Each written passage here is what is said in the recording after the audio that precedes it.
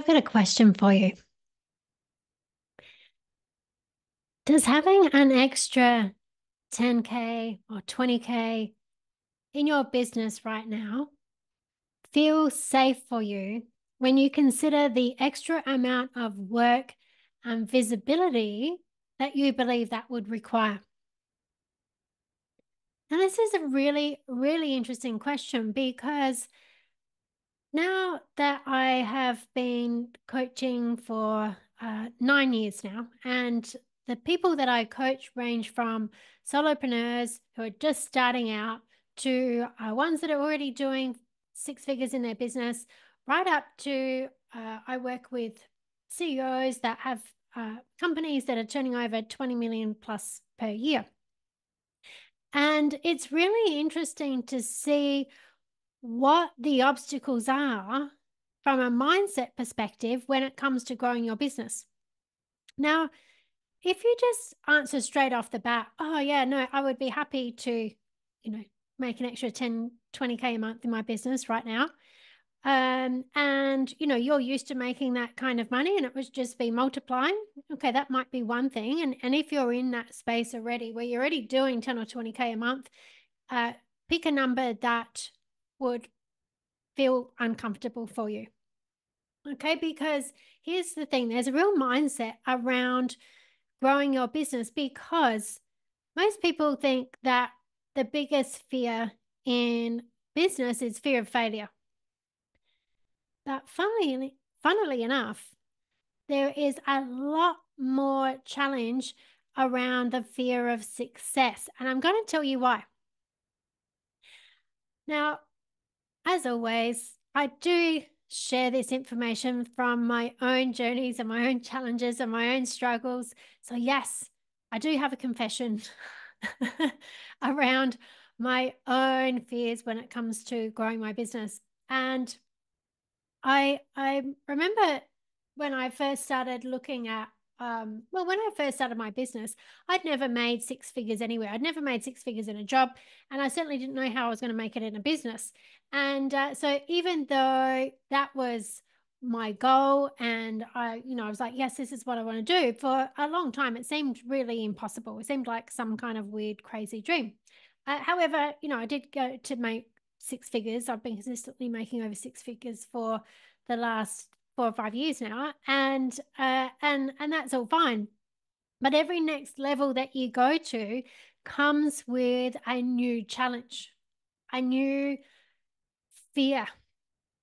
And one of the biggest fears that comes up, like I said, is around fear of success. And it's really got to do what do you feel like you're at risk of losing if you would gain the success that you're after?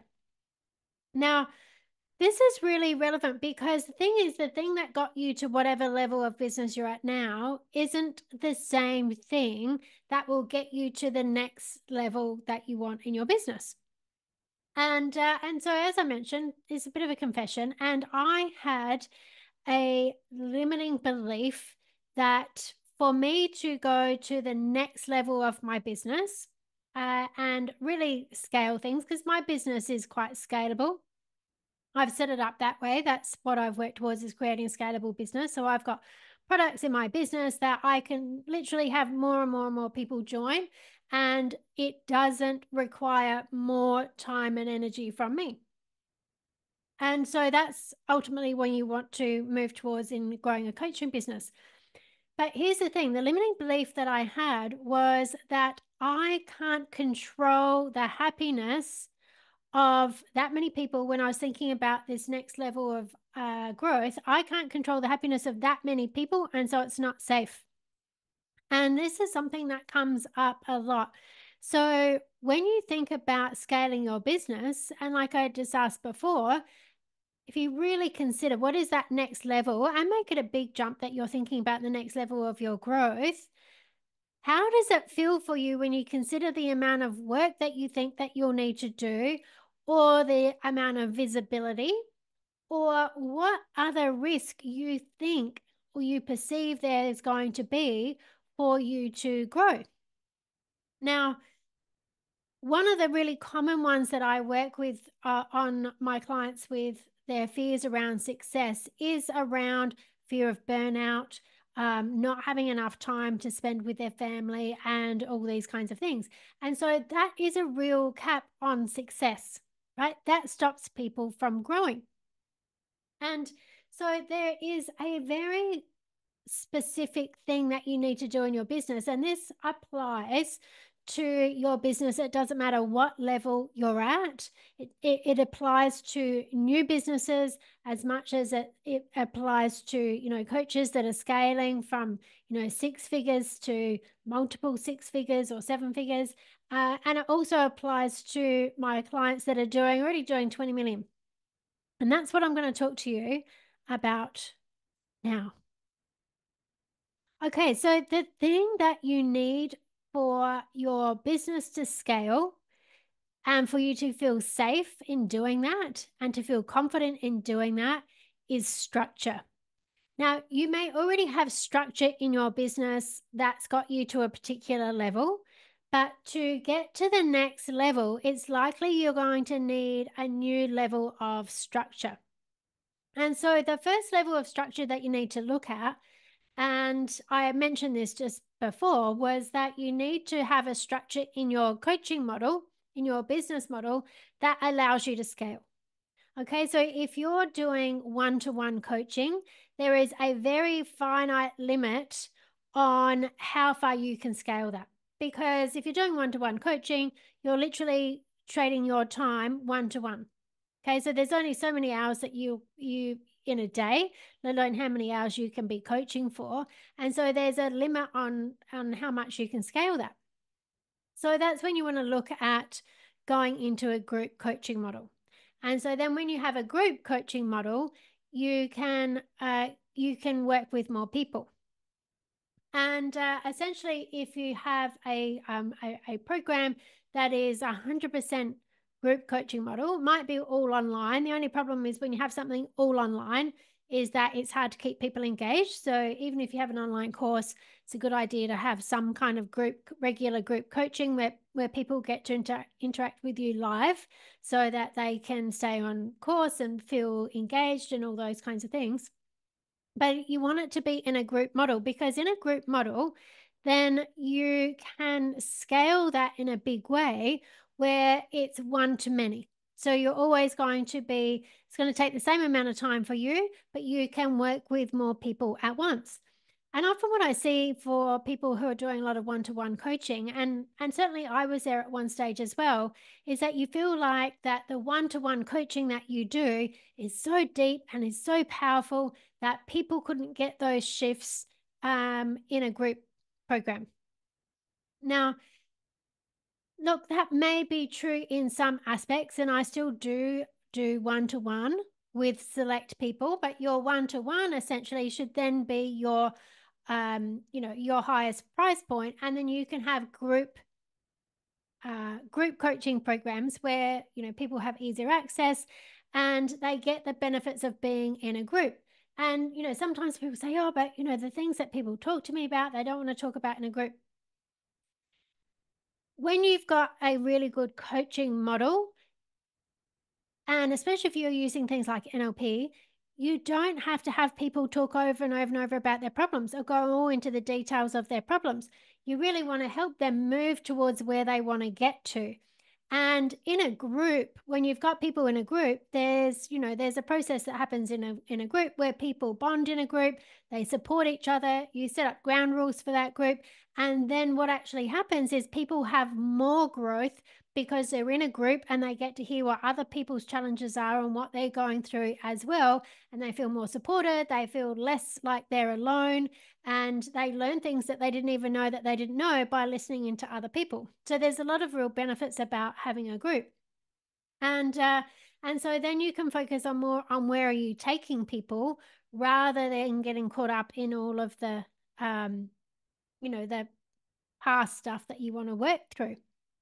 So, like I said, there's no um, there's no fixed rule about this, but if you want to leverage your time, the more group stuff that you can do, the better. And then you can still do one-on-ones where it's needed to be. Now, so your structure your structure needs to be set up in a way that you can scale to that next level where you have control of your time and energy okay that's really important you got to have control of your time and energy and know that you do so that um, you feel supported and it feels safe to have more clients right to help more people then the next thing that you really need to do in order to uh, scale your business to the next level with confidence is that you need to have systems and automation in place. This is really important that you have systems and automation in place. And so that means it's really easy for people to uh, to get to know about who you are, what you do.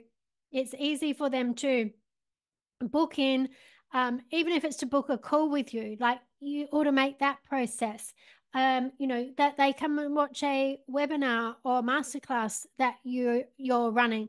You can automate that process where they can all click and get themselves in without it taking you a whole bunch of backwards and forwards messaging, sending links, doing all those kinds of things. And then, of course, you can automate with systems every step of your process. So someone can uh, book in a call by uh, clicking a link. They can book into your webinar by clicking a link. They can book another link, click another link that takes them into one of your programs to set up payments, to do all of those things, to receive all the emails that they need to do. Um, everything can be automated and systemized so that it doesn't take a whole bunch of work from you. And so this is really important when it comes to uh, automation. Okay, when it comes to scaling, you need this automation to save you the time and energy for these things to happen. It also means that your systems and processes can be replicated perfectly. Okay, it doesn't have any room for error because you've already done the system right once, the process once, and then once someone clicks into that process, it takes them through the same way every time right? That's really important. So you need to have those systems and automation. And then what you can uh, know is that you've got this structure and systems in process, uh, in systems, structure and systems in place. That means it feels safe for you. It feels like you know that these things are going to happen without you having to stress and worry about did I send that email? Did I do this bit right? Have I sent them the link? Have they paid it? What do I have to follow up here? What do I have to follow up there? all of that stuff becomes automated. So it becomes very simple for you. Now, the next thing you want to make sure is that you have any of your legal checks and terms and conditions all done and set out. And so these will be things that clearly state what's included, your refund policies, any kind of guarantees, anything that you need to have in place so that people can read it they know what you're about. You know, everyone knows where they stand and it's covered. Okay, so then if you have any kind of issues, you have people who want to get refunds, you know straight away if they're entitled to a refund or not. Okay, your refund policy is up to you. You might have something that when, you know, they've got a certain amount of time where they can start and then get a refund if it's not for them. It might be there's a certain amount of things that they need to do before they qualify for a refund. Um, could be anything. But you just want to make sure you have those things in place so you know exactly what they are. And uh, and then if someone asks you if anyone's got a problem, you know exactly how you're going to respond. And there's a process for that. And it makes you feel supported Okay. And so when you have these things in place, you know then with confidence that you can scale to your next level because you feel supported. There's structures and systems and things that are there supporting you. Um, and this is really important, especially if uh, you're a female in business and you don't want to feel like you are forever running around doing, doing, doing everything because that's where you'll get into burnout.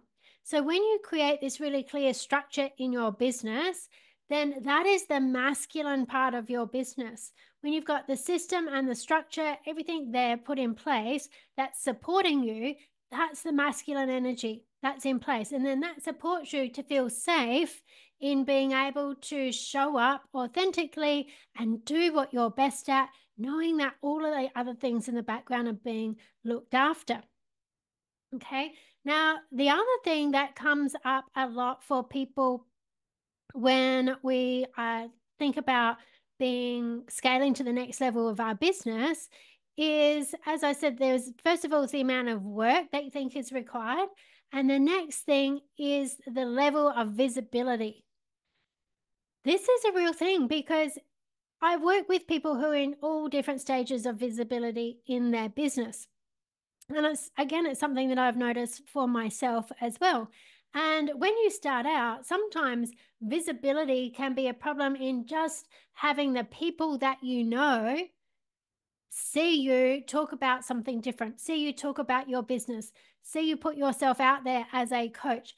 That can be a challenging um, level of visibility just by telling people you already know that you're doing something different. And then as it grows, you might be working with people that you know that are getting referred to you.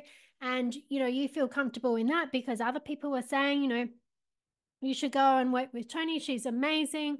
Um, you know, she's got me these great results, and and you know, the, there's that level of visibility where people are coming to you. But then you might go, well, now I want to scale, and so now I'm reaching out to an even wider audience of people beyond the people that I know.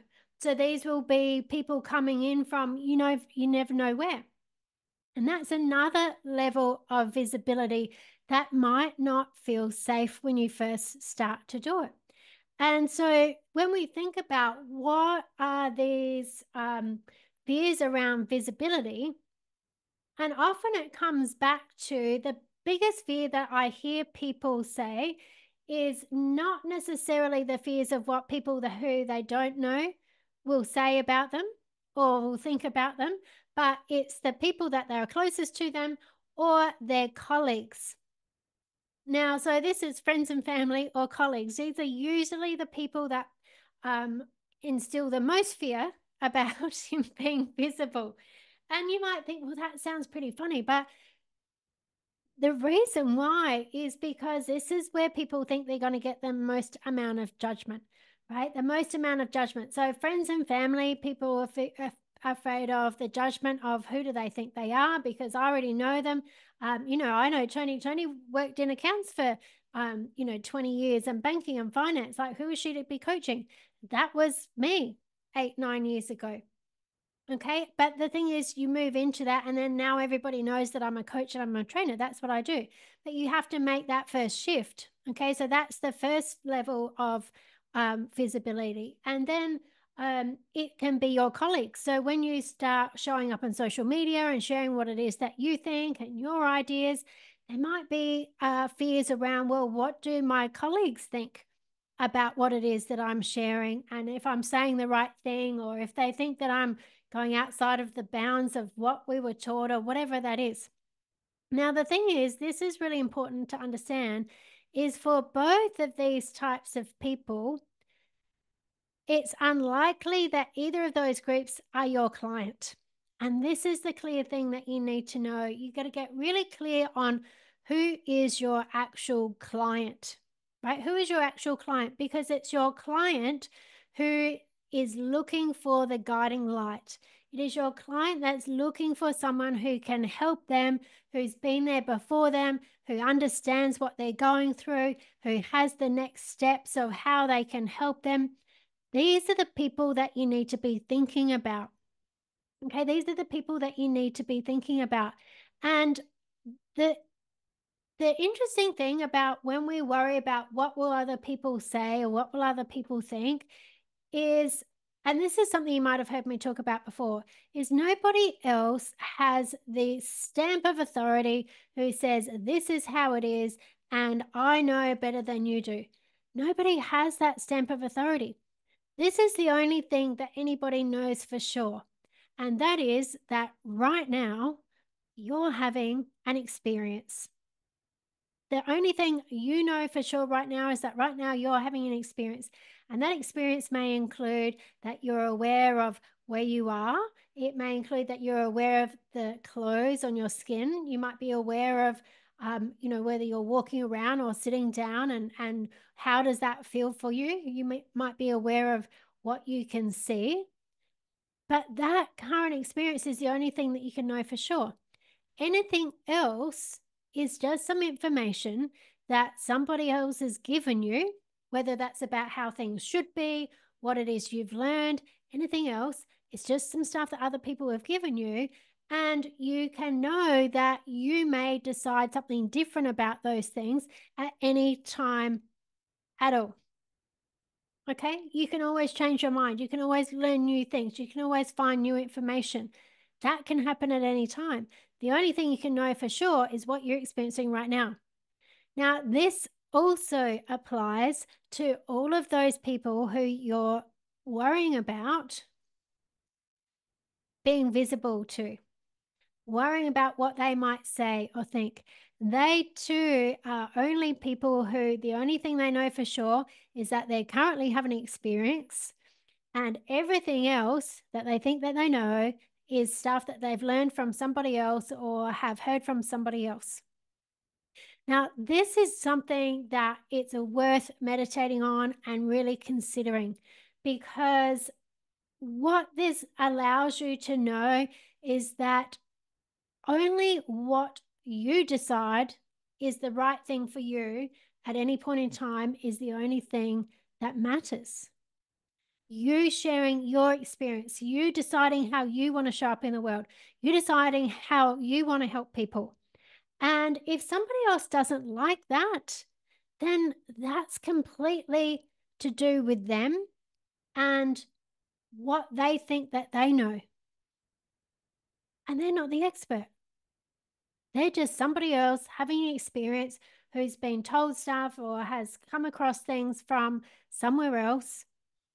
And they've decided that that's how things are until they find something different. Okay, so this is really important to know. When it comes to visibility, you're the only one you need to worry about, you and the people who you want to help. Everybody else are worrying about themselves and what it is that they're doing in their own lives, and they're not your clients.